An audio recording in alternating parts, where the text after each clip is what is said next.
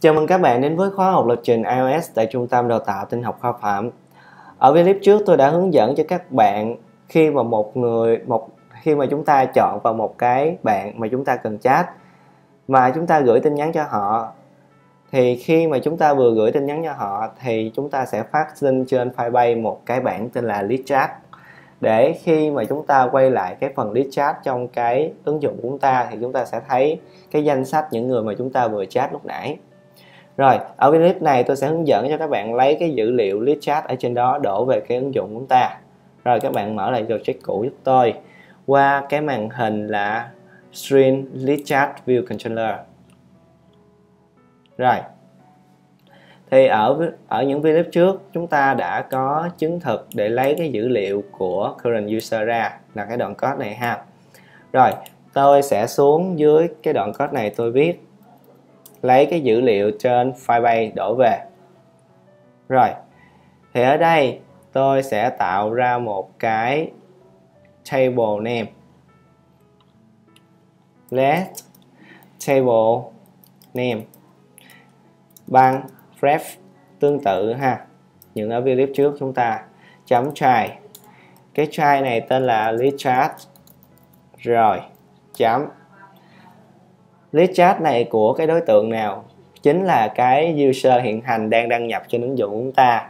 Thì chúng ta chấm try một lần nữa. Đó chính là current user id rồi, bây giờ chúng ta lên Firebase, xem docs của Firebase nó viết như thế nào ha. Qua phần docs, retry data, copy lại cái đoạn code mà chúng ta thường copy ha đây, copy nó lại.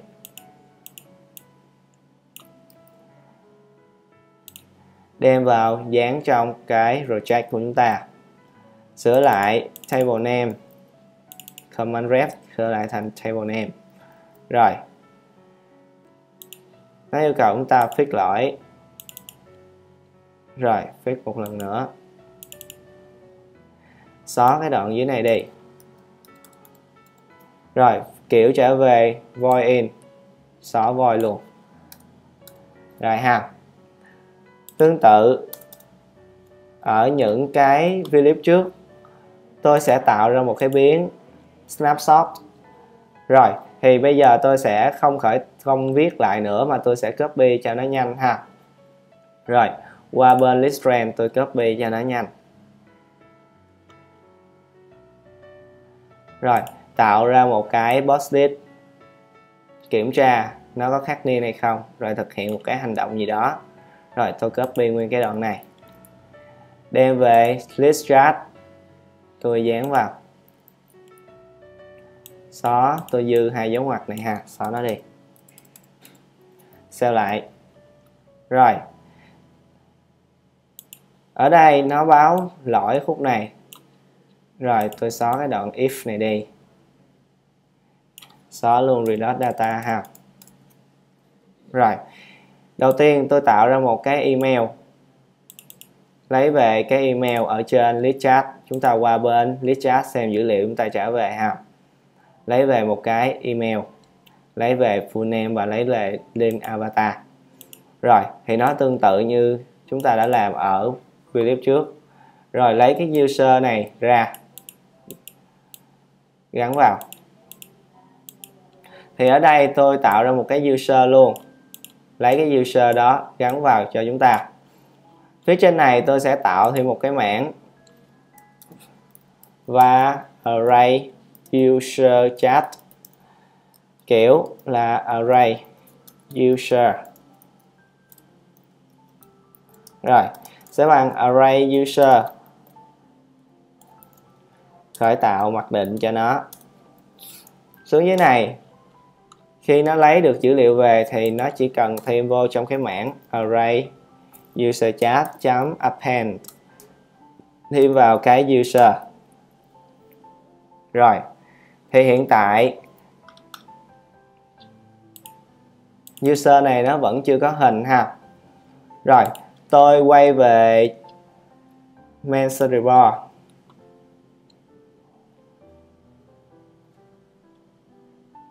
tùy chỉnh lại một chút xíu cho cái view list chart. Hiện tại cái table view, cái cell chỗ của list chart chưa có file quản trị. Rồi tôi đặt identifier cho nó là cell ha. Click vào trong cái thư mục view, chọn new file. Chọn ios suite coco touch last, net. Đặt tên là string list chart table view cell. Sublet up là UI table view cell, ngôn ngữ là Swift next và create. Rồi, về lại main storyboard. Chọn vào trong file quản trị cho cái cell này. Thẻ thứ ba ha. Chọn class là string list chart table view cell. Rồi, tôi sẽ ánh xạ những cái đối tượng trong đây. Vào file quản trị.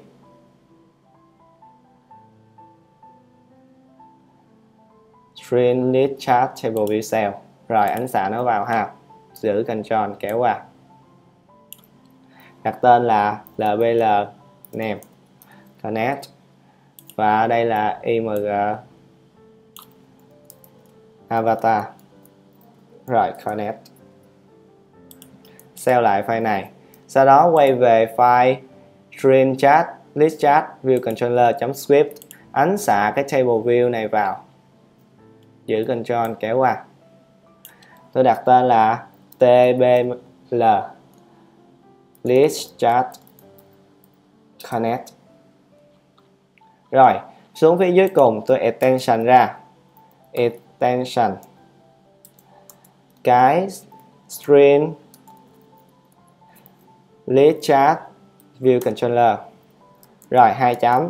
Chèn vào UI table view, data source và UI table view, delegate. Rồi, enter, mở ngoặc nhọn, đóng ngoặc nhọn. Tôi enter cái vùng này cho nó rộng ra xíu. Rồi, nó báo lỗi, tương tự, number of row insertion return. 1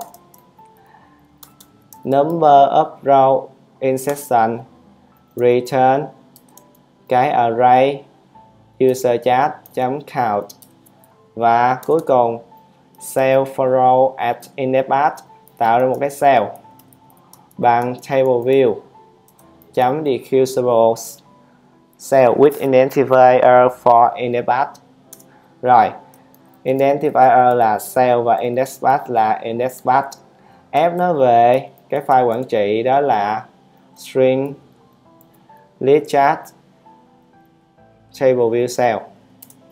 Rồi, cell chấm, lbl name, chấm test, chính bằng array, user chat tại vị trí index path chấm row. Rồi, chấm, full name và cell chấm lb, xin lỗi các bạn, chấm img avatar chấm. Ở đây, các bạn nhớ, ở clip trước, tôi đã hướng dẫn cho các bạn tạo ra một cái extension ở trong UI image view. Chúng ta gọi cái hàm log avatar và truyền cái link vào, đó là array user chat tại vị trí indexpath row và chấm link avatar. Rồi, return lại cái cell. Rồi ha lên phía trên tôi thêm vào delete lot delete lot ha. Tôi thêm hai cái, dòng đó là cbl discharge chấm data source bằng cell rồi tbl discharge chấm delegate cũng bằng self rồi, xuống phía dưới khi mà nó lót dữ liệu xong. Đây, thêm vào thì chúng ta reload cell tbl discharge chấm reload data rồi tôi chạy lên thử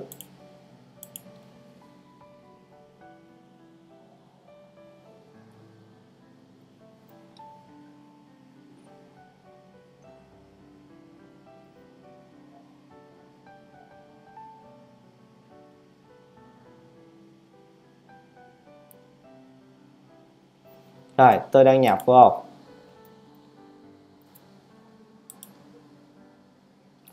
Khoa phạm. Training. Avon. Gmail.com password 123456 và login.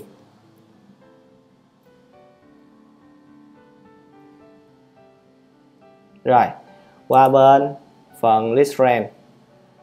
Thì các bạn thấy nè, ở đây vì tôi đã chat với một đối tượng tên là Huỳnh Công Thái rồi, thì nó hiển thị trong list chat ở đây rồi, bây giờ tôi thử tôi chọn vô khoa phạm.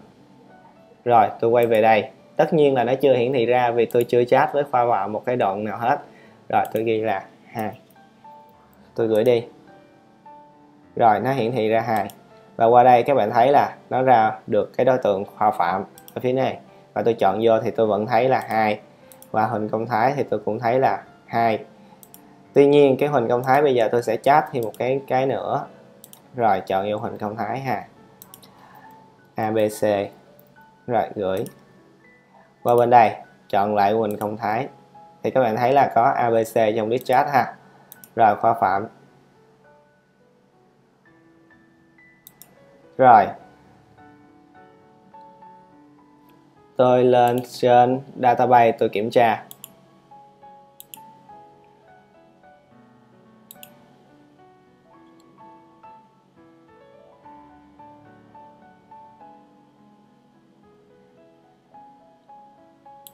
Rồi.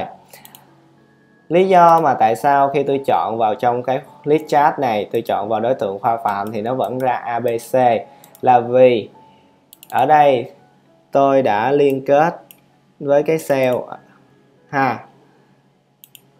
Nhưng mà tôi chưa có viết hàm this select row trong cái file này. Screen list chat view controller, ha. Rồi thì xuống đây tôi sẽ viết thêm một cái hàm đó là this select row.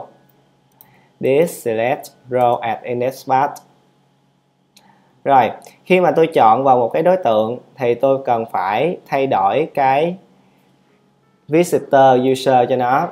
Rồi, thì ở đây tôi sẽ thay đổi. Tôi nói là visitor hiện tại sẽ bằng cái array user chat tại vị trí index path chấm row rồi, và đồng thời tôi cần phải load cho nó cái avatar tương tự thì tôi sẽ qua bên list range kéo xuống cái phần mà chúng ta load avatar tôi copy. Rồi, tôi em qua đây tôi dán lại ha.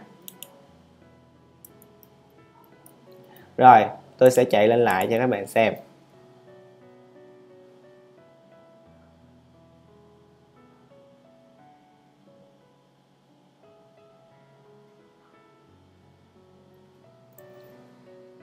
Rồi, do tôi ở bên view controller, tôi vẫn để cho nó đăng xuất ra. Rồi, tôi nốt cái dòng này lại ha.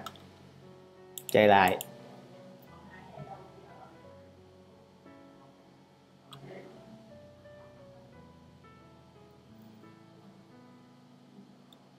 Rồi, tôi đăng nhập lại ha. Khoa phạm. Training. Vòng gmail.com 1 2 3 4 5 6 bấm login rồi. Chạy qua bên, list chat. Các bạn đợi một chút xíu, nó sẽ lót dữ liệu về. Rồi, chọn vô khoa phạm. Có chữ 2 Huỳnh Công Thái. Sẽ có hai IBC rồi, bây giờ tôi thử qua bên list chat nè, list friend nè. Tôi gõ trong Huỳnh Công Thái thì một cái chữ gì đó nữa hello. Rồi, tôi gửi. Quay qua bên đây, chọn vào hình Công Thái thử xem có hello chưa. Rồi, quay về khoa phạm chọn lại. Thì nó chỉ có chữ hai thôi. Rồi. Tôi vừa làm xong cái phần list chat cũng như list range trong cái ứng dụng của chúng ta.